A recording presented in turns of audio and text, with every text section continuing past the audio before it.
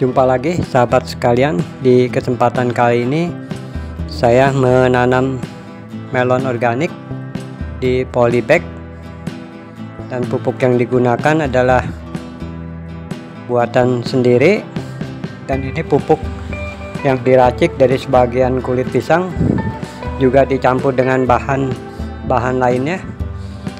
Uh, Di sini saya menggunakan TDS meter di dalam takarannya yaitu untuk kestabilan di dalam pemberian pupuk sehingga didapatkan hasil yang maksimal.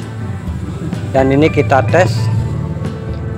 Setelah ditetapkan maka kita berikan langsung ke media tanam di mana pemberian pupuk organik cair ini saya berikan empat hari sekali dan terus uh, di pantau mengenai pertumbuhannya sehingga dapat dicapai hasil yang maksimal.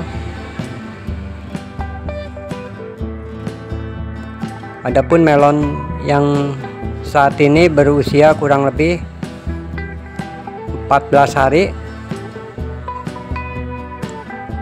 di mana benihnya saya dapatkan dari buah melon di pasar yang dibeli. Seperti ini. Kira-kira nanti akan saya update selanjutnya pertumbuhan atau perkembangan dari melon organik ini. Oke demikian dahulu teman-teman sekalian. Salam sehat dan salam berkebun